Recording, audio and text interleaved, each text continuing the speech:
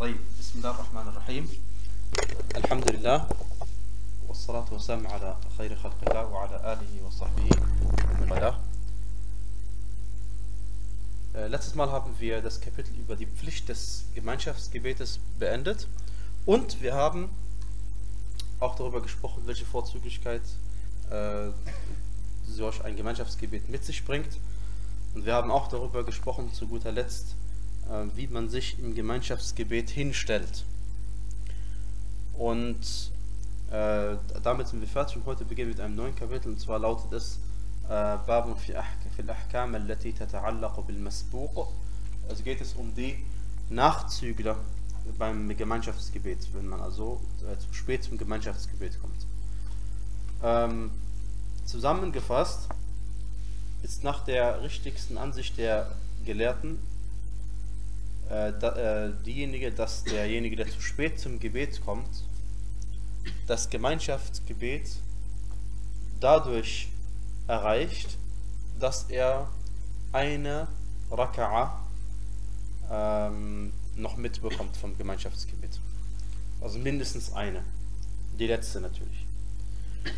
Wenn er mehr als eine Raka'a mitbekommt, dann hat er das Gemeinschaftsgebet nicht mitbekommen.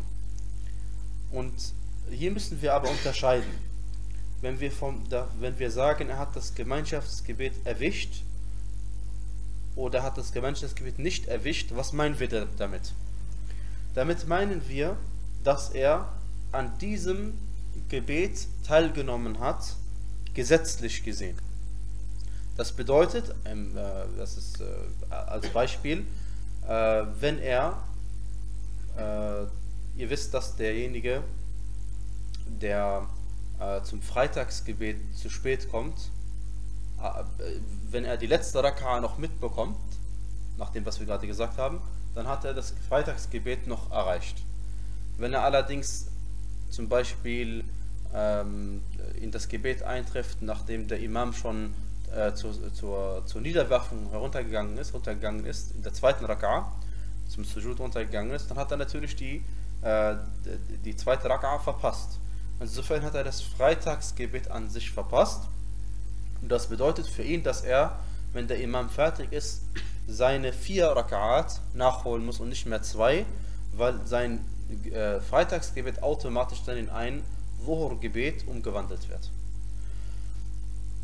Aber jetzt könnte jemand auf die Idee kommen und sagen, naja, wenn ich schon zu spät komme zum Gebet und sowieso nicht mehr das Freitagsgebet mit erwische, oder irgendein anderes Gebet genauso, dann kann ich ja auch warten, bis der Imam fertig ist mit dem Gebet, was viele Leute machen, die kommen in die Moschee und sehen, dass der Imam schon im letzten Tashahhud sitzt. Und dann sagen sie untereinander, die zwei Leute, die Freunde, die halt reinkommen, sagen, äh, setzt euch jetzt nicht hin, äh, also betet nicht mit ihnen mit, sondern wartet, bis sie fertig sind und dann stehen wir, au- äh, dann, dann beten wir alleine zusammen in der Gemeinschaft, ein neues Gemeinschaftsgebet. Und das ist äh, auch nicht richtig, äh, sondern die Person soll mitbeten mit der Gemeinschaft, auch wenn sie äh, keine einzige Raka'a mit der Gemeinschaft zusammen gebetet haben. Weil die Belohnung des Gemeinschaftsgebetes bekommen sie inshallah auf jeden Fall. Weil ja der Prophet sallallahu alaihi gesagt hat, dass man sogar wenn man äh, also wenn man zur Moschee kommen möchte, um ein Gemeinschaftsgebet zu verrichten und man findet vor, dass die Leute schon gebetet haben, dann bekommt man genau die gleiche Belohnung, als hätte man mit der Gemeinschaft gebetet. Ja? Insofern, ähm, äh, und in anderen Hadith sagte der Prophet adraktum fasallu. Das heißt, was ihr noch vom Gebet erreichen könnt, erwischen könnt, das betet mit. Ja? Also dann, wenn man also sagt, also ich bete nicht mit, warte bis sie fertig sind, dann hätte man natürlich diesem Hadith zuwider gehandelt, logischerweise. Insofern, das Gemeinschaftsgebet äh, von der Belohnung her hat man inshallah erreicht. Aber gesetzlich gesehen hat man dieses, dieses Gebet an sich nicht mehr erwischt, wenn man die letzte Raka'a nicht mitbekommen hat. Und ich denke, an diesem Gebet ist es äh, klar geworden, inshallah. Dann, äh, liebe Geschwister, ähm, diese Raka'a, wann ist der späteste Zeitpunkt, an dem derjenige, der Nachzüg Nachzügler ist, äh, die Raka'a noch mit erwischt? Äh, und zwar, wenn er den Rukur der letzten Raka'a erwischt. Das heißt, die Verbeugung der letzten Raka'a. Und Raka'a wird manchmal so übersetzt als Gebetssequenz, ja, weil das so eine Einheit ist. Und dieser, ähm, diese letzte Verbeugung im Gebet, wenn er die erwischt, dann hat er die letzte Raka'a erwischt. Und allgemein, jede Raka'a, jede Gebetssequenz, jede Gebetseinheit, jeder Gebetsabschnitt, erwischt man dadurch, dass man in dieser Raka'a die Verbeugung erwischt. Aber weil der Prophet sallallahu alaihi gesagt hat, man adraka al-ruku' faqad adraka al-raka'a. Wer die Verbeugung erwischt, hat die Raka'a erwischt. Ja? Der Hadith ist bei Abu Dawud und er ist sahih. Und ähm, ebenso äh, kennt ihr den berühmten Hadith von Abu Bakr äh, bei Al-Bukhari, wo er zum Gebet kam und dann haben die, waren die äh, Sahaba mit dem Propheten in der Verbeugung und dann hat er was gemacht? Er hat er vom Weitem hat er sich hingestellt und ist da auch in die Verbeugung gegangen, obwohl er nicht sich in die Reihen eingereiht hatte. Ja? Und äh, danach, also hat sich äh, verbeugt, weil er wollte unbedingt diese Raka'a mitbekommen. Ja? Ähm, und dann hat er, nachdem der Prophet sallallahu gesagt hat, Sami Allah liman hamida, ist aufgegangen, dann ist er aufgegangen und dann ist er nach vorne gelaufen im Gebet, bis er in den Reihen drin war. Ja? Und dann hat der Prophet sallallahu alaihi wasallam ihm nicht gesagt, dass er diese Raka'a nachholen muss. Und das weist auch darauf hin, dass man die äh, Raka'a wodurch erwischt, indem man die Verbeugung noch mitbekommt. Ähm, der jetzt wenn der Imam in der, in der Verbeugung ist, wann ist von dieser, in, in dieser Situation der letzte Zeitpunkt, wann man den Imam noch erwischt in der Verbeugung? Und zwar, sobald er anfängt zu sagen, Sami Allahu liman hamida. Sobald er das Sin spricht von Sami Allahu liman hamida, der erste Buchstabe von das S, das Sin auf Arabisch, dann ist er aus der Verbeugung äh, äh, raus und äh, hat sich praktisch in die in das Stehen begeben, in Al-Qiyam begeben. Und dann ist die Verbeugung also vorbei. Dann, wenn man dann reinkommt, dann würde man äh, also die ganze Raka'a nachholen müssen. Wenn man jetzt in das Gebet eintritt, wie tritt man dadurch ein? Man sagt Allahu Akbar im Stehen. Muss Allahu Akbar im Stehen sagen. Und darf nicht sagen, ähm, und darf nicht zum Beispiel äh, die, zur Reihe laufen und dann heruntergehen, angenommen die, angenommen die Leute sind gerade in Rukur oder sie sind gerade im Sujud, in der, in der Niederwerfung, egal. Dann darf man nicht einfach sich in die Reihe hinstellen und dann sich runter bewegen und dabei Allahu Akbar sagen. Ja? Weil dieses Allahu Akbar nennt man Takbirat al-Intiqal. Das heißt, dass derjenige Takbir, den man sagt, um äh, von einer Position zur nächsten zu kommen. Das ist der, dieser Takbir. Und äh, den Takbir, den wir aber brauchen, ist welcher? Der erste Takbir vom Salah. Das ist der Takbir, dass man ins Gebet reinkommt. Ja? Und das ist ein Unterschied. Diesen nennt man übrigens Takbirat al-Tahrim. Äh, Tahrim kommt vom Wort Haram. Warum? Äh, weil dadurch, dass man Allahu Akbar sagt, am Anfang des Gebetes werden einem bestimmte Dinge verboten, die einem vorher halal waren. Okay, deswegen heißt Takbir al-Tahrim. Und äh, auch, auch gesetzlich gesehen ist etwas anderes. Takbir al-Tahrim, dadurch, äh, dieser ist eine, ein Rücken. Dieser ist ein, ein Rücken, eine, eine, ein, ja, eine Säule des Gebetes. Aber Takbirat al-Intiqal, da gibt es manche Gelehrte, die sagen, es ist ein Sunnah. Und wir haben gesagt, wir bevorzugen, also gesagt, als wir diese durchgenommen haben, dass wir bevorzugen, dass wir sagen, dass, ein, dass es Wajib ist. Allah weiß am besten Bescheid. Wie dem auch sei, ist was anderes, nicht der gleiche Takbir. Und ähm, wenn man aber bei der Gemeinschaft mitbeten will und sie sind schon in der Verbeugung, dann muss man also Allahu Akbar im Stehen sagen. Man sagt Allahu Akbar im Stehen und dann begibt man sich erst zur Position, wo äh, die Leute gerade sind. In diesem Fall gibt es zwei Möglichkeiten. Entweder man sagt Allahu Akbar im Stehen und dann sagt man noch einmal Allahu Akbar, um sich ähm, äh, dieser, dieser der Übergangstakbir sozusagen von dieser Position des Stehens zur Position, wo sie gerade sind. das ist, wenn man dieser Ansicht folgt, dann folgt man dieser Ansicht, oder die Gärten, die dieser Ansicht folgen, folgen dieser Ansicht, weil, weil sie, ähm, äh, weil das ursprünglich gesehen immer so der Fall ist. Immer wenn du eine Position wechselst im Gebet, sagst du den Takbir. Außer in einem Fall, wenn du natürlich vom, äh, von der Verbeugung dich da aufstehst, äh, einstellst, dann sagst du Sami Allah liman hamida.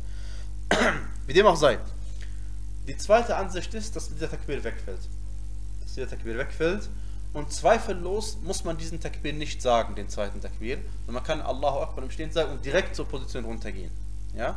Und jeder weiß, wenn er in diese Situation gerät, dann, äh, und möchte vielleicht gerade noch den Ruku erwischen, dass er dann nicht damit beschäftigt ist, äh, äh, oder sich nicht damit beschäftigen möchte, den Takbir zu sagen, ja, der auch nicht unbedingt jetzt viel mehr Zeit äh, in Anspruch nimmt, weil man sowieso meistens sagt, während man sich bewegt. Aber den kann man weglassen, weil es gibt eine Überlieferung dazu über Umar ibn Khattab, dass er gesagt hat, äh, also, also um die, sinngemäß um den Takbir der Intiqal, dieser Takbir von Position zu Position, äh, um den kümmere ich mich in solchen Situationen nicht. Ja? Insofern kann man den äh, weglassen. Und äh, aufgrund dieser Überlieferung und auch aufgrund der Tatsache, dass äh, eigentlich bewegt man sich ja nicht von diesem Stehen, von dem ersten Takbir, zu der, äh, sage ich mal, Verbeugung. Das ist eigentlich nicht dieser Positionswechsel. Denn der, das erste Stehen hat man nur gemacht, um ins Gebet hineinzukommen. Normalerweise würden wir jetzt die Fatiha lesen und dann würde jetzt Allah Akbar sagen. Ja? Äh, oder stellt euch vor, ihr stellt euch im Gebet hin und ihr wollt dann zum Sujud runtergehen. Normalerweise äh, also ist das nicht der, der, der, Weg, dass man vom ersten Stehen zum Sujud geht oder vom ersten Stehen zum Sitzen geht, wenn er gerade sitzt. Ja? Das ist also kein Übergangstakbir im eigentlichen Sinne. Allah weiß am besten Bescheid. Aber besser ist, man sagt diesen Takbir, dann hat man auf jeden Fall äh, äh, ihn gesagt und das schadet ja nicht. Und äh, wie gesagt, wenn man ihn sagt, wie es sein soll, und zwar, wenn man spricht, während man sich bewegt, weil ihr wisst ja, manche Leute sagen diesen Takbir, wenn sie schon angekommen sind im nächsten Rücken. Ja? Also angenommen, manche Leute, ähm, sie stehen, den Koran haben sie gelesen, dann sagen sie Allahu Akbar und dann machen sie Rukur, Verbeugung. Und andere, sie verbeugen sich und dann, wenn sie ankommen, sagen sie Allahu Akbar. Und dazwischen gibt es Stufen. Ja? Und äh, da, wie gesagt, also man soll auf jeden Fall darauf achten, dass der Takbir gesagt wird, während man sich bewegt. Äh, er muss nicht komplett gesagt sein, wenn es sich bewegt, aber Hauptsache, während der Bewegung sagt man den Takbir, teilweise zumindest, weil äh, der, allein schon der Tatsache, dass man der Meinungsverschiedenheit aus dem Weg geht, weil es gibt manche Gelehrte der Hanbalitischen Rechtsschule, die gesagt haben, dass wenn du dein Takbir sagst, während du schon angekommen bist, zum Rucken, dann ist dein Gebet weg, ungültig. Ja? Also warum? Weil der Takbir ist bei ihnen Wajib. Ja? Und der Takbir ist Wajib. Und wann ist er Wajib? Ist zwischen den Arkan. Wenn du absichtlich einen Wajib weglässt, dann Gebet weg. Okay? Das ist klar. Deswegen also allein schon dieser Sache aus dem Weg zu gehen, soll man den Takbir zum richtigen Zeitpunkt sagen. Gut. Egal in welcher Situation die Gläubigen im Gebet gerade sind, wenn du kommst, begibst du dich in die Position, wo sie sich gerade befinden. Aufgrund des Hadithes von Abu Huraira, radiallahu anhu, dem man dem Propheten sallallahu alaihi zuschreibt, dem er sagte, إذا جئتم إلى الصلاة ونحن سجود فاسجدوا ولا تعدوها شيئا. Wenn ihr zum Gebet kommt, während wir gerade in der Niederwerfung sind, dann werft euch auch nieder. Oder dann werft ihr euch auch nieder. Aber wertet dies nicht. Oder zählt dies nicht. Und gemeint ist die Raka. Die zählt nicht, wenn man im Sujud ist, weil das ist natürlich nach, dem, nach der Verbeugung schon längst. Ja? Deswegen, also diese Raka wird nicht mehr äh, gewertet. Ähm, wie ist es mit der Fatiha eigentlich? Normalerweise die Fatiha ist auch ein Rücken, aber der entfällt. Der, die, die, die, dieser Rücken entfällt. Das heißt, wenn du, wenn du, ähm, äh, es gibt zwei Situationen. Entweder du kommst, also die Relevanz sind jetzt für die Fatiha. Entweder du kommst äh, ins Gebet und du kannst noch die Fatiha lesen, und dann liest du sie. Äh, oder du kannst sie äh, nicht mehr lesen oder nur teilweise lesen, dann entfällt sie. Ja? Du weißt natürlich nicht, wie lange, wie lange noch Zeit hast zu lesen, das weißt du nicht. Kannst du nicht wissen. Selbst wenn er Surat al-Kawthar anfängt zu lesen, weißt du nicht, weil vielleicht fügt er noch eine Surah, äh, Surah hinzu, was nie vorkommt, aber kann ja mal vorkommen. Ja? Man darf ja mehrere Suren lesen in einer Raka. Ähm, wie dem auch sei, man liest dann die Fatiha, soweit man kommt, und wenn er Allahu Akbar sagt, da hat man ja immer noch paar Sekunden Zeit, aber wenn man Angst hat, dass der Imam jetzt Sami Allah Muhammad sagt, nee, dann muss man auf jeden Fall die Lesung unterbrechen und in Rukur gehen.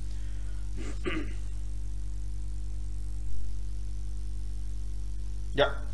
Und wenn dann der Imam ähm, äh, jetzt, jetzt folgende Situation, du hast mindestens eine Raka'a verpasst, wann holst du sie nach? Und zwar nachdem der Imam den zweiten Taslim gesprochen hat. Ähm, natürlich, wenn ich sage, nachdem der Imam den zweiten Taslim gesprochen hat, also nach links, dann meine ich natürlich damit in dem Fall, wenn er ihn spricht. Weil es kann sein, er ist ihn weg. Denn es, wir haben gesagt, wir, als wir über die Arkan Salah gesprochen haben, haben wir gesagt, es gibt vier verschiedene Versionen, die authentisch überliefert sind, wie man den Taslim sprechen kann. Und eine davon ist, dass man eben Assalamu alaikum nur einmal sagt. Und, äh, und zwar nicht ganz geradeaus, sondern ein bisschen nach rechts geneigt. Einmal und das war's. Ja?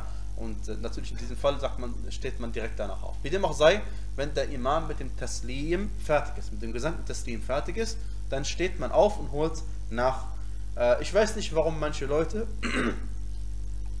äh, schon aufstehen, nachdem der Imam den ersten Taslim gesprochen hat. Äh, das Gebet auf jeden Fall ist inshallah gültig. Inshallah gültig, weil der zweite Taslim ist sowieso Sunnah und kein Rucken. Aber das Mindeste, was wir sagen, äh, ist eine, eine wie sagt man, ein, also, äh, äh, sie haben sich ein bisschen vorausgeeilt, ja, sind sie ein bisschen vorausgeeilt, weil der Imam ist noch nicht fertig. Ja? Also insofern ist es ein bisschen problematisch, aber inshallah ist ihr Gebet gültig. Auf jeden Fall warten, bis der Imam fertig ist mit Taslim und dann steht man auf. Gut. Äh, jetzt, jetzt gibt es eine bekannte Meinungsverschiedenheit unter den Gelehrten, äh, aufgrund unterschiedlicher Überlieferungen, die alle authentisch sind. Äh, der Teil, den du nachholst, oder der Teil, den du betest, nachdem der Imam fertig ist, ist das der Teil, den du am Anfang verpasst hast, oder ist das der Teil, den du am Ende noch nicht gebetet hast? Um das zu verdeutlichen, das Dhuhr-Gebet hat vier Raka'at. Du kommst in der dritten Raka'a rein. Betest mit dem Imam 1, 2 Raka'at. Für den Imam waren es aber die dritte und die vierte. Für dich ist es die dritte und die vierte gewesen? Oder war es für dich die erste und die zweite? Ja? Das ist äh, sehr entscheidend, weil äh, dadurch, äh, das, dadurch damit hängt zusammen, ähm, ob du zum Beispiel in, sagen wir mal, im Isha-Gebet, im, im Isha-Gebet, da liest man den ersten zwei Rakat laut. Wenn du jetzt nur zwei Rakat mitbekommen hast vom Isha-Gebet und holst jetzt zwei nach, willst du da jetzt laut lesen, weil das die ersten zwei sind? Oder willst du leise lesen, weil das für dich die dritte und die vierte ist? Ja, das ist sehr entscheidend. Ja, und darüber gibt es, äh, wie gesagt, zwei bekannte Ansichten von Gelehrten. Und äh, die einen stützen sich auf, der, auf die Überlieferung, in dem der Prophet sallallahu alaihi wa ala alihi wasallam äh, gesagt hat, وَمَا فَاتَكُمْ فَأَتِمُّ Was ihr verpasst habt, das vervollkommnet oder das vervollständigt. In dieser Überlieferung, das ist der Beweis für diejenigen Gelehrten, die gesagt haben, dass man mit dem Imam der Imam hat zwar die dritte und vierte gebetet, ich habe aber die erste und zweite gebetet. Und jetzt vervollständige ich mein Gebet, indem ich nach dem Imam aufstehe und bete ich meine dritte und die vierte. Ja. Ähm, das ist die, die, äh, die, die, eine Version. Aber dieser Hadith an sich wurde auch überliefert mit einem anderen äh, Wortlaut. Ja? Und zwar ist es nicht fa'atimmu, das vervollständigt, sondern faqadu. Und das Wort Yaqdi hat zwei Bedeutungen und eine davon ist, das holt nach. Und jetzt holt man nach. Wie kann man nachholen? Man kann nur nachholen, wenn der Teil, den man mit dem Imam gebetet hat, der dritte und die vierte war. Und jetzt holt man die erste und die zweite nach, weil die hat man verpasst. Ja? Äh, da ich aber, ich habe gerade angedeutet, dass diese, dieses Wort Yaqdi zwei äh, Bedeutungen hat. Die eine Bedeutung ist nachholen und die eine Bedeutung, andere Bedeutung stimmt überein mit dem ersten Hadith. Und deswegen ist die bevorzugte Ansicht, dass man nicht nachholt, sondern sein, Gebot, äh, sein Gebet vervollständigt. Das heißt also, zusammengefasst noch einmal, wenn man mit dem Imam die dritte und die vierte Raka'a gebetet hat, dann war das für einen selbst die erste und die zweite. Ja? Daraus ergibt sich vieles. Ja? Äh, unter anderem, also daraus, darauf kann man aufbauen. Darauf kann man aufbauen. Wenn man diese Regel verstanden hat, ergibt sich automatisch andere Sachen daraus. Daraus ergibt sich zum Beispiel, äh, wenn du mit dem Imam in der dritten und vierten Raka'a äh, reingehst äh, und er betet gerade meinetwegen das äh, gebet oder lassen wir Dhuhr-Gebet weg und das Asr auch, sondern wir nehmen das Isha-Gebet aus einem bestimmten Grund. Äh, und äh, im Isha-Gebet ist uns nicht bekannt, dass man nach der Fatiha in der dritten vierten Raka'a etwas liest. Ist mir nicht zu Ohren gekommen. Okay? Beim Dhuhr und Asr-Gebet sehr wohl. Da ist überliefert dass man auch nach, dem, nach der Fatiha lesen kann. Und äh, es eine Sunna ist. Aber im Isha-Gebet nicht.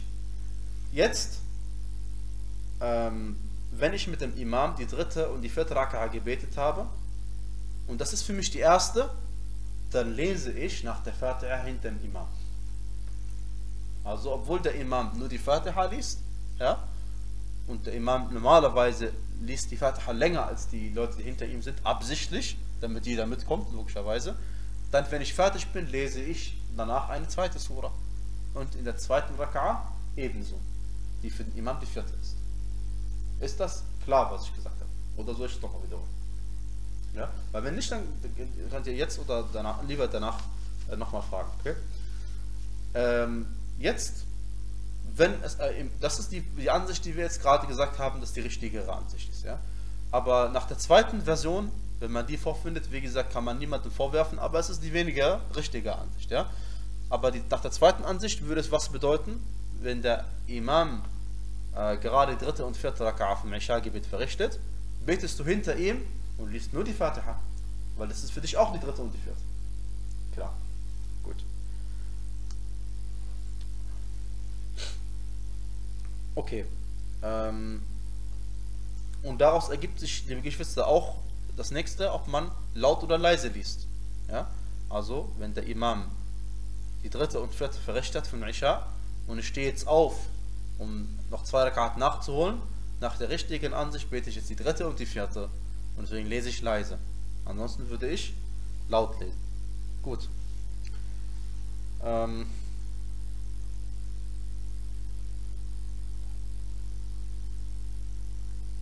Was auch jetzt, liebe Geschwister, zum, äh, zu diesem Thema gehört, und dann ist dieser Block mehr oder weniger abgeschlossen, und zwar, wenn man in das Gebet eintritt und der Imam liest schon die Fatiha, ab dem Zeitpunkt, dann entfällt die, der Dua al-Istiftah. Das heißt, der Dua, den man sagt am Anfang, die meisten Leute sagen Subhanakallahumma hm, äh, oder irgendwelche andere Ad'iyah, die überliefert worden sind, die entfallen. Logischerweise, weil der Imam liest jetzt den Koran äh, und äh, du bist aufgefordert, ohne ins Detail zu gehen, allgemein den Koran zuzuhören und dich nicht zu beschäftigen mit dem Dua zu sprechen, wenn der Koran gelesen wird. Im Gebet natürlich gemeint. Ja? Gut, dann, liebe Geschwister, folgendes was auch zusammenhängt mit diesem äh, Gemeinschaftsgebet. Die Leute, die hinter dem Imam beten, kann man in vier Kategorien einteilen. Die erste Kategorie von solchen Leuten sind diejenigen, die ähm, der Imam, der ist schon viel weiter als sie und sie sind, also der Imam ist schon zwei Positionen weiter und die sind immer noch hinten dran. Okay? Das passiert wann? Das kann passieren, äh, meistens bei, bei Leuten, die äh, vielleicht neu im Islam sind. Also was auch schon passiert ist, mir besitzt beim Gebet, wir waren Sujud und die anderen standen noch hinten, haben noch Koran gelesen. Also. Aber die waren noch neu im Islam. Ja? Das passiert. Äh, auf jeden Fall, das ist der erste Fall, dass Leute sind also viel zu spät dran. Der zweite Fall ist, dass man dem Imam folgt. Der dritte Fall, dass man gleichzeitig sich mit dem Imam bewegt. Und der vierte Fall, dass man sich vor dem Imam bewegt. Äh, gucken wir uns die vier Situationen nochmal an. Die erste Situation ist, dass man sich viel zu spät bewegt als der Imam. Wenn man es absichtlich macht, logischerweise, dann Gebet ist weg. Weil das ist kein Gemeinschaftsgebet mehr. Ja, wenn der Imam schon im Sujud und du stehst noch, liest den Koran noch, dann, dann, dann stimmt was nicht. Dann hast du nicht mit dem Imam gebetet. Dann ist dein Gebet ungültig. Sollte es einen anderen Grund geben, dass du zum Beispiel äh, aus voller Erschöpfen nicht mitgekriegt hast oder du warst blind, möge Allah davor bewahren und du kannst auch nicht hören, taubstumm, ja, dann das ist was anderes, aber sobald man dann weiß, dann holt man eben diese Positionen nach, kommt, dass man mit dem Imam mitkommt. Ja. Ansonsten äh, achte man darauf, dass der Imam, wenn er Allahu Akbar sagt und seine Position wechselt, wechselst du deine Position mit ihm und sagst nicht äh, und wartest nicht also äh, zu lange. Ja? Weil manche Leute zum Beispiel, wenn man im Sujud ist, im ersten Sujud, in der ersten Sajda, dann machen sie Dua und dann sagt der Imam Allahu Akbar, setzt sich hin und sagt Rabbi ighfirli und, wart, und, und sagt jetzt gleich Allahu Akbar für die zweite Sajda und die anderen sind noch im Sujud, weil sie jetzt sich jetzt vorgenommen haben, lange Dua zu machen. Ja, diese, der Prophet sallallahu hat zwar uns angespornt, dass wir lange Dua machen sollen im Sujud, aber nicht zu lang, dass wir den, äh, mit dem Imam nicht mehr mitkommen. Das ist natürlich nicht damit gemeint. Ähm, deswegen, liebe Geschwister, wenn der Imam äh, die Position wechselt, wann ist es Sunna, dass man sich bewegt? Die Sunna ist, dass man sich bewegt. Der zweite Fall, Al-Mutaba'a, und zwar, sobald der Imam sich bewegt hat, danach bewegt man sich. Und dafür gibt es klare Beweise dafür. Und die, die wir gleich anschauen werden. Der dritte Fall, der ist Makruh, dass man sich gleichzeitig mit dem Imam bewegt, egal was gleichzeitig macht. Und ähm, es macht sowieso, und der vierte Fall ist äh, haram, weil man vor dem Imam was macht. Klar, wer es absichtlich vor dem Imam was macht, darüber reden wir gleich, dann ist natürlich sein Gebet aber ungültig, ja, das ist klar. Aber angenommen, du machst, äh, angenommen, du bewegst dich vor dem Imam aus Versehen, du gehst in eine Position aus Versehen, du hast irgendein Geräusch gehört und dachtest, wäre Takwir oder was auch immer, dann musst du zu der Position zurück, wo du vorher warst und dich dann von dort aus zum richtigen Zeitpunkt noch einmal, weil die Bewegung war an sich ungültig und zusätzliche Bewegung, die keine Bedeutung hat. Ja? Jetzt reden wir, äh, äh bevor wir zu, zu, dem Eigentlichen kommen, äh, noch einmal über die dritte von diesen vier Situationen, und zwar diejenige, wenn man gleichzeitig macht. Das ist auch makruh, äh, weil der Prophet sallallahu eben angeordnet hat, dass man das nach dem Imam immer alles macht und nicht gleichzeitig. Und jetzt ähm, wann findet man das öfter vor? Äh, man findet das vor, wenn der Imam irgendein Takbir oder irgendeine Aussage viel zu lang die Länge zieht. Ja? Das heißt, wenn der Imam zum Beispiel ähm, sagt, äh, Allahu Akbar anfängt zu sagen, während er noch im Stehen ist, ja, dann automatisch die Leute dran bewegen sich im Team. Ja? Weil die Leute, die, die gerade die, die hinteren Reihen, die sehen den Imam ja gar nicht. Ja? Und jeder von uns kennt das, dass es äh, ihm passiert, dass sobald der Imam das A von Allahu Akbar sagt, dann bewegt er sich schon. Okay? Und manchmal passiert es dann, dass man aus Versehen sogar vor dem Imam unten ankommt. Richtig logisch, ja? Und deswegen, liebe Geschwister, wenn der Imam die Sunna umsetzt und die Mu'min auch, dann ist es völlig egal, und darüber haben wir schon mal gesprochen, ob man die Imam sieht oder nicht. Man hat kein Problem damit. Ja? Man hat kein Problem damit. Äh, wo sich das auch zeigt, ist, wenn der Imam beim Taslim, beim äh, Sagen von Assalamu alaikum wa rahmatullah links und rechts, das zu lange die Länge zieht, ja, was übrigens nicht überliefert worden ist, sondern es ist das Gegenteil überliefert worden, aber nicht authentisch. Es ist überliefert worden, dass, dass man den Taslim kurz und knapp sagen soll. Assalamu alaikum wa rahmatullah. Ja, so ist es überliefert worden, dass man das sagen soll, aber das ist nicht authentisch überliefert worden. Aber wir brauchen diese Überlieferung nicht, um zu zeigen, dass man sich länger ziehen soll und nicht äh, also nicht absichtlich lange in die Länge ziehen soll, weil wir wissen ja, bei den Gottesdiensten ist es ja genau umgekehrt. Derjenige, der diesen Ausdruck in die Länge zieht, der muss uns sagen, warum er es gemacht hat. Und nicht wir müssen ihm sagen, dass es kurz ziehen soll. Weil normalerweise, wenn da steht, der Prophet sagte nach links und rechts oder nach rechts und links, Assalamu alaikum rahmatullah, was verstehe ich darunter? Ich verstehe darunter, dass ich sage, Assalamu alaikum rahmatullah, Assalamu alaikum rahmatullah. Das war's. Ich kann nicht aus dem Hadith verstehen, dass ich sagen soll, Assalamu alaikum wa rahmatullah. Das kann ich nicht darunter verstehen. Also wenn der Überlieferer das mir sagen wollte, hätte er das gesagt. Dass er es in die Länge gezogen hat. Das ist nicht die normale Art, wie man spricht. Okay, wie dem auch sei, in diesem Moment passiert es, dass der Imam dieses sehr lange die Länge zieht und dann sagt der Imam um hinter ihm, aus Versehen oder absichtlich, vor dem Imam Assalamu alaikum. Ja? Und dann, Wallahu a'lam, ist sein Gebet kein Gemeinschaftsgebet mehr, sondern sein Gebet ist dann ein Fardgebet, ein einzelnes Gebet. Das ist wie wenn du aus dem Gemeinschaftsgebet, du darfst ja aus, in einer Notwendigkeit aus dem Gemeinschaftsgebet herausgehen. Ja? Darüber haben wir aber auch schon mal gesprochen, Wallahu alam. Und zwar angenommen, du bist, äh, nur um das zu verdeutlichen, angenommen, du bist in einem Gemeinschaftsgebet und äh, jetzt mittendrin, es war vorher nicht, plötzlich fängt dein Magen an zu drücken oder deine Blase an zu drücken. Und du hast nicht damit gerechnet. Oder du hast gedacht, inshallah, das Gebet schaffe ich noch locker und dann gehe ich danach, was noch nicht machen soll. Ne? Aber und dann mitten im Gebet drückt es so sehr, oder aufgrund einer Krankheit oder Schmerzen, was auch immer, sagst du dir, ich möchte jetzt das Gebet zu Ende verrichten und dann gehen, weil ich kann nicht warten, bis der Imam fertig ist. Das kann besonders passieren, wenn der Imam sowieso lange beten will, weil es das Nachtgebet im Ramadan ist. Ja? Dann betest du einfach alleine dein Gebet zu Ende. Wie gesagt, das ist eine Notwendigkeit. Ja? Statt dein Gebet zu, abzubrechen, betest du dann alleine zu Ende und gehst dein Gebet raus und, äh, und das war's dann, bist du fertig. Dann hast du natürlich, äh, äh dein, dann ist dein Gebet ein, äh, wie, wie sagst du, eben alleine gebetet. Ja? Und solch eine Person äh, gehen wir davon aus, dass es für sie genauso gilt. Wenn Taslim spricht vor dem Imam, dann hat das Gebet für, alleine vor, äh, beendet. Ja? Ähm, wenn das allerdings im zweiten Taslim passiert, ist kein Problem, obwohl es natürlich äh, ein Widerspruch ist zu dem, was der Prophet gesagt hat. Also kein Problem im Sinne von, dass das Gebet nicht ungültig ist, dass, äh, oder das Gebet nicht gültig ist, meine ich. Ja? Aber Problem schon, weil der Imam hat noch nicht fertig gesagt und du, du, du, du, du sagst es vor ihm. Ja? Das darfst du nicht. Äh, und die Beweise sind, äh, dass der Prophet sallallahu alaihi sagte, in einem Hadith bei Bukhari, bei Muslim, ähm, der Beweis erstmal dafür, dass man nicht vor dem Imam irgendwas machen darf.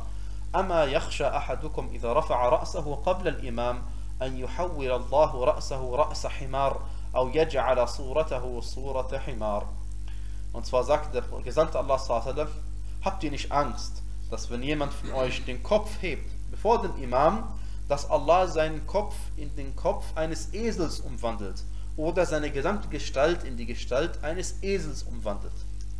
Und ihr wisst, liebe Geschwister, Allah ist zu allen Dingen mächtig. Ähm, ebenso äh, sagte der Prophet sallallahu alaihi wasallam auch bei Bukhari bei Muslim innama ju'ila al-imam liyutamma bih der Imam ist dafür dass man ihm nachmacht فلا تركعوا حتى يركع ولا تسجدوا حتى يسجد deswegen salam, äh, geht nicht in die Verbeugung bis er in die Verbeugung geht und werft euch nicht nieder bis er sich niederwirft Jetzt könnte jemand sagen, gemeint ist, werft euch nicht nieder, bevor er anfängt, sich niederzuwerfen. Oder verbeugt euch nicht, bevor er sich anfängt, sich zu verbeugen.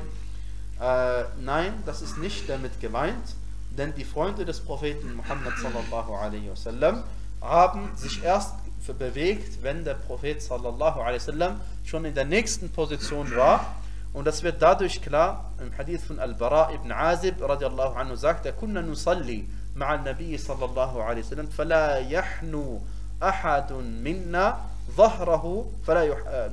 أحد منا ظهره حتى يرى النبي صلى الله عليه وسلم يضع Wir haben, Al-Bara ibn Azib sagte, wir beteten mit dem Propheten sallallahu alaihi wasallam immer zusammen.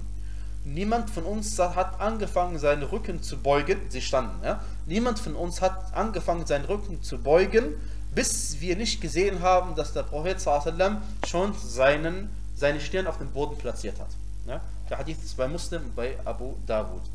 Ja. Äh, und deswegen findet man bei vielen Gebetenden hinter dem Imam, dass sie sich beeilen und vor dem Imam in der Position ankommen. Und das ist, wie gesagt, liebe Geschwister, äh, gegen die Sunna. Und wenn er das wüsste, wenn er das wüsste, dann müsste er sein Gebet, äh, diese Position noch einmal äh, zurückkehren, zu, zu der Position, wo er vorher war, und dann nochmal die Bewegung zur richtigen Zeit machen. Und wenn er das erst äh, das erfährt, nachdem er fertig ist, nach dem Gebet, dann, dann muss also die Raka'a nachholen. Denn er, denn er kann diese Position nicht mehr nachholen und wenn man einen Rücken einfach weglässt, und es erst viel später merkt, wie wir gelernt haben, dann muss man ja die gesamte Raka'a nachholen. Ja. Und der Prophet sallallahu alaihi wasallam sagte, لا تسبقوني بالركوع ولا بالسجود ولا بالانصراف. Das heißt, äh, also verbeugt euch nicht vor mir, noch werft euch vor mir nieder, noch beendet euer Gebet vor mir. Ja, Äh, Sheikh al-Islam Ibn Taymiyyah, Rahmatullahi alayhi, sagte, مسابقة الإمام حرام باتفاق الأئمة لا يجوز لأحد أن يركع قبل إمامه ولا يرفع قبله ولا يسجد قبله وقد استفاضت الأحاديث عن النبي صلى الله عليه وسلم بالنهي عن ذلك Und zwar sagte Sheikh al-Islam, äh, vor dem Imam oder dem Imam vorauszueilen, also schneller zu sein als der Imam, ist unter Übereinkunft der Imame haram. Und man darf sich zum Beispiel nicht vor dem Imam verbeugen, erheben, niederwerfen. Und darüber gibt es zahlreiche Hadithe äh, über den Propheten wasallam, die dies einem verbieten. Und äh, dass man vor dem Imam sich bewegt und irgendwas macht, ist ein Spiel, das der Shaitan mit einem treibt, äh, damit der Mensch sein Gebet nicht vollkommen verrichtet. Denn die Frage, die man sich stellt, ist, was profitiert man denn, wenn man vor dem Imam seine Position gewechselt hat? Null, nichts, gar nichts. Denn am Ende, du kannst sowieso dein Gebet nicht vor ihm beenden. Es geht nicht. Ja? Deswegen, manche Leute sind ungeduldig und wollen gleich runtergehen, bevor der Imam Allahu Akbar gesagt hat. Aber das bringt ja nichts, weil du kannst eh nicht dein Gebet vor ihm beenden. Also beruhige dich und genieße dein Gebet und versuche Allahs so viel wie möglich zu gedenken. Und deswegen achte man darauf, liebe Geschwister. Ähm, und auf der anderen Seite natürlich sagen wir, aber das, das geht dich jetzt als Ma'mum, jemand dahinter dem Imam steht, wenig an, sondern es geht mit dem Imam an. Der Imam natürlich auch soll äh, sich kurz fassen. Denn der Prophet sallallahu alaihi wasallam sagte, إِذَا أَمَّا أَحَدُكُمُ النَّاسَ فَلْيُخَفِّفْ Und der Hadith bei Bukhari bei Muslim. Und zwar sagt er, wenn jemand äh, andere im Gebet anführt, dann soll er sich kurz fassen. Ja? Aber liebe Geschwister, was heißt es denn, sich kurz zu fassen? Äh, sich kurz zu fassen, wir wissen, dass der Prophet sallam, sich kurz gefasst hat im Gebet, logischerweise, weil er hat ja diesen Hadith gesprochen und er ist der Imam der Gläubigen überhaupt und der Imam der Propheten überhaupt und er hat natürlich das umgesetzt, was er gesagt hat, logischerweise. Und trotzdem äh, hat er im Jumu'ah-Gebet zum Beispiel äh, manchmal in der ersten Raka'a Surat al-Jumu'ah gelesen. Und die geht fast eineinhalb Seiten.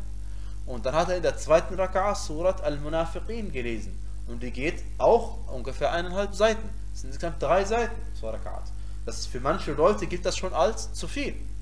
Ja?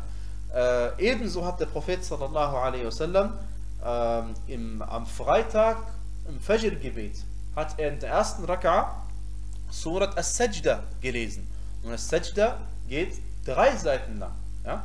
Und dann hat er in der zweiten äh, Raka'a im Fajr, Yom al-Jum'ah, am Freitag, hat er Surat Al-Insan gelesen. Und Al-Insan geht circa zwei Seiten lang. Ja? Also nur, damit man sich bewusst macht, und, und fünf Seiten, zwei Raka'at, sind schon so eine gute Viertelstunde oder 20 Minuten, wenn, mehr oder mehr oder weniger. Aber wie gesagt, also äh, das, was der Prophet gemacht hat, an sich, ist die Erleichterung. Übertrieben ist was anderes. Übertrieben ist, wie wir in manchen Überlieferungen äh, äh, es mitgeteilt bekommen haben, ist, dass ein Sahabi, den Hadith kennen wir alle, einmal Surat al-Baqarah lesen wollte im Isha-Gebet. Ja? Da haben sich Leute beschwert. Okay, da haben sie recht. Okay? Äh, aber bei, bei dem, was der Prophet sallallahu gemacht hat, das war äh, nicht zu viel. So, äh, jetzt ein, ein, äh, noch ein paar, äh, ein, zwei, drei Punkte, dann sind wir fertig, Alhamdulillah. Und zwar, äh, wir haben gesagt, wenn man vor dem Imam etwas macht, dann muss man zu der Position zurückkehren und es nochmal machen. Und wie wir sehen, liebe Geschwister, das gilt für was? Das gilt für die Arkan. Das gilt für die Arkan. Und zwar, das heißt für die Säulen im Gebet die die Bewegungen sind. Bewegungen im, im Gebet. Ja? Ansonsten, was man sagt, das hat damit nichts zu tun. Wenn ich vor dem Imam etwas sage, was Rucken ist, und äh, absichtlich, das ist gar kein Problem. Ja? Weil angenommen, wir sitzen im, äh, ein Beispiel, über die es keine Meinungsverschiedenheit gibt, wir sitzen alle äh, in der letzten Sitzung vor dem Taslim und äh, der Imam aus irgendeinem Grund auch immer äh, ist noch nicht fertig mit der Tahiyyatu Lillah. Und das ist dann ein Rücken. Ja? Und jetzt sagst du Tahiyyatu Lillah vor dem Imam fertig. Das ist gar kein Problem, weil das ist auch, wie wir logischerweise nachvollziehen können, es geht ja darum, dass man ein Gemeinschaftsgebet verrichtet. Und wenn man vor dem Imam was macht, eine Bewegung oder so, das ist, man sieht das im Weiten, das ist kein Gemeinschaftsgebet, die beten nicht zusammen. Aber wenn du dir etwas leise sagst vor dem Imam, ist doch egal, das macht kein Problem.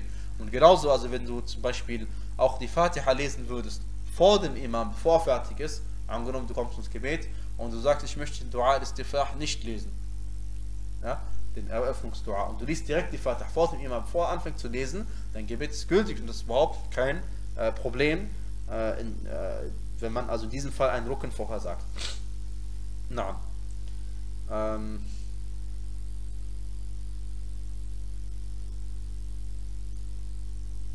Gut, dann jetzt noch äh, äh, folgende Punkte. Äh, drei, folgende drei Punkte etwa, inshallah. Nummer eins, äh, wenn man im Gemeinschaftsgebet ist, das ist eher ein heutiger Fall, ja, eine, eine Sache, die heutzutage passiert. Und zwar, du bist im Gemeinschaftsgebet, lieber Bruder, liebe Schwester, und äh, es gibt Stromausfall. Und das passiert heutzutage besonders, weil äh, die Moscheen teilweise so gebaut werden, dass die Frauen die Männer nicht mehr sehen können äh, und deswegen, wenn dann Stromausfall passiert oder der, der, die Batterie vom, vom äh, Mikrofon aus ist, dann kriegen die Frauen nichts mehr mit. Äh, wie dem auch sei, äh, die Frauen können dann kurz abwarten. Wenn es dann irgendwie weitergeht, weil es eine technische Störung gab, dann holen sie einfach diese 1, 2 äh, Positionen nach, die sie verpasst haben. Ansonsten sollte der Imam schon äh, an der Position angekommen sein, der folgenden Raka'a, äh, an der sie stehen geblieben sind, sie waren im Rukur und dann der Imam ist schon jetzt im nächsten Rukur von der nächsten Raka'a, dann beten sie einfach mit dem Imam mit und holen nachher einen Raka'a nach. Ansonsten sollten sie merken, dass äh, der Strom nicht mehr kommt und das Gebet schon lange eigentlich vorbei sein müsste, dann beten sie einfach alleine weiter und jede Frau für sich und wie gesagt und äh, beabsichtigen aus dem Gemeinschaftsgebet auszutreten.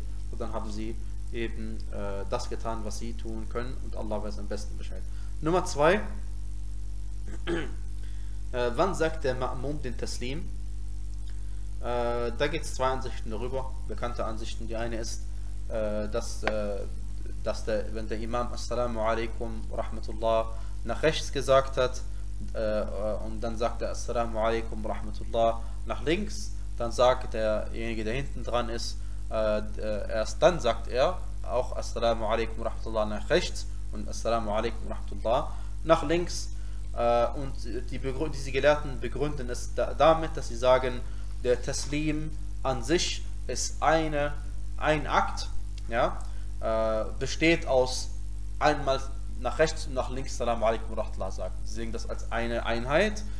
Ähm, und ähm, die allermeisten äh, Überlieferungen sind ja, wie wir gesagt haben, dass man nach rechts und nach links sagt. Und wir sehen das eben als eine Einheit. Und, äh, äh, die, die, und, das, und die zweite Ansicht ist, dass man, sobald der Imam den Taslim nach rechts gesagt hat, sagt man auch danach, wenn der fertig ist, dann sagt man den Taslim nach rechts und dann sagt der Imam den Taslim nach links und dann sagt man ebenfalls den Taslim äh, nach links. Und sie begründen das damit, dass sie sagen, beide Taslims sind voneinander unabhängig. Äh, der rechte ist sowieso ein Rücken und der linke ist Sunnah. Und es gibt ja auch Überlieferungen, dass man den, äh, den Taslim nur einmal spricht. Insofern sagen sie, erst die eine Ibadah, dann machen die andere hinten nach und dann die zweite, dann machen die zweite nach. Und sie sagen, es könnte ja auch sein, dass der Imam äh, nur nach rechts sagt und dann würde man umsonst warten. Äh, wird auch sein, das ist ein kleiner, mehr oder weniger Witz nebenbei. Auf jeden Fall die, äh, wie gesagt, beide Ansichten gibt es und äh, ist, also ist eher eine, Art, eine Art Vollkommenheit, welche Ansicht du eher folgst und Allah weiß am besten äh, Bescheid. Äh, letzte äh, Angelegenheit, äh, weil es um das, das Kapitel Nachzügler geht beim Gebet, liebe Geschwister, die ähm, allermeisten Gelehrten, unter ihnen die vier Rechtsschulen alle, also die, ich meine die Gelehrten, die, der, ich meine die Imame der vier Rechtsschulen, äh, sind der Ansicht, dass jemand, der ein Nachzügler ist, nicht als Imam fungieren darf. Äh, wodurch zeigt sich das? angenommen, du kommst zu spät zum Gebet, äh, dann holst du nach dem Imam, wenn der Imam fertig ist, eine Raka'a nach oder mehr und dann kommt noch jemand rein, der noch später ist als du äh, und äh, betet dann neben dir und bezeichnet oder nimmt dich dann als dein Imam an. Ja? Und betet hinter dir oder neben dir und macht dich sozusagen zum Imam. Ja? Nach der allermeisten Ansicht der Gelehrten gilt das nicht und äh, deswegen sollte man möglichst die Sache aus dem Weg gehen. Es ist eine Sache, die nicht überliefert ist, äh, wie manche Gelehrte gesagt haben, widerspricht aber nicht unbedingt den Text beweisen und deswegen soll man der Sache aus dem Weg gehen. Weil es ist eine Sache, die mit Sicherheit durch es stattgefunden haben muss. Äh, damit mein, also damals, damit meine ich was, ich meine nicht, dass, die, dass man einen, einen Nachtzüger zum Imam macht, nein, ich meine, dass äh, Leute zu spät kommen zum Gebet und nachholen und dass danach nochmal Leute kamen, die zu spät, das muss stattgefunden haben, das heißt des Propheten mehrfach, vielleicht nicht sogar täglich, ja, und wenn wir nichts darüber erfahren haben, dass irgendjemand einen Nachzieher zum Imam gemacht hat, dann ist es schon ein starkes Indiz, dass man der Sache aus dem Weg gehen sollte. Ja? Wallahu ta'ala a'lam wa sallallahu wa barak ala Muhammad wa ala alihi wa sahbihi wa sallama tasliman kathira.